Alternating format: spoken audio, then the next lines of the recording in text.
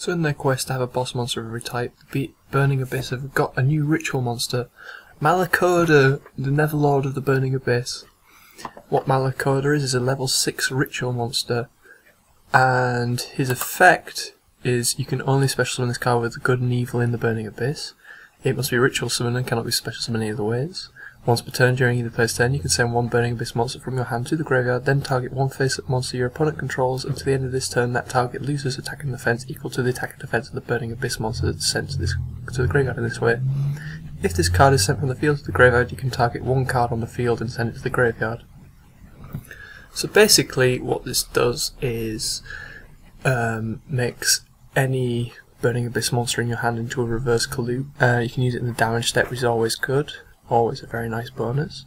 And when it's sent from the field to the graveyard, it gets rid of an opponent's monster or spell and trap. That's annoying. So that's very good. Other things about it, it allows new variants of the deck to be played. So it allows the use of the Djinn of Rituals series. So you can use Releaser to not stop your opponents from special summoning. You can use Prognosticator to make your opponent discard a card when they take battle damage, and you can use Demolisher so it's not target so it can't be targeted by opponent's card effects, which is a very powerful um, protection effect in the current meta, especially with like the Burning Abyss mirror map. So another thing about it is it allows use of Burning Abyss monsters from your hand by tributing for the ritual summon which will land to get the effect, and also by discarding them.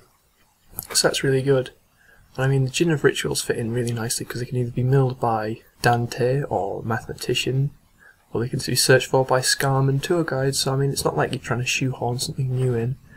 So maybe you could see a new variation of the deck, maybe more stun based, around like making a protected Malacoda. Plus, you know, Dante will be able to recycle Malacoda. Cir won't because it can't be special summoned by Cir. But, you know, it's still a very, very nice card for the archetype. Highest original attack of any monster in the archetypes thus far. And we shall have to wait and see what the good and evil in the Burning Abyss does because apparently people are thinking that might be broken and they're trying to see if this is they think the degree to which the card is good is based on the good and evil in the Burning Abyss, which it sort of is in a way, but I think it's pretty decent for what it is.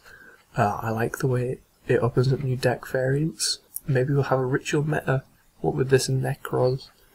So yeah, I just thought I'd bring this news to you, and if you enjoyed this video, please like, favorite, comment and subscribe, and I'll see you later.